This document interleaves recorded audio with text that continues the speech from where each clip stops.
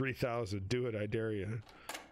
Well, I, I have no interest in having sex with grown, grown people in fursuits. It just it doesn't get me hard at all. It's like some kind of weird nightmare for me. Like, you know? Like if I woke up and it was like a fursuit orgy, I'd probably like fucking what? like where, where the fuck am I? Jesus fucking Christ, what the fuck's going on? Everybody, put your penises back into your fursuits, please.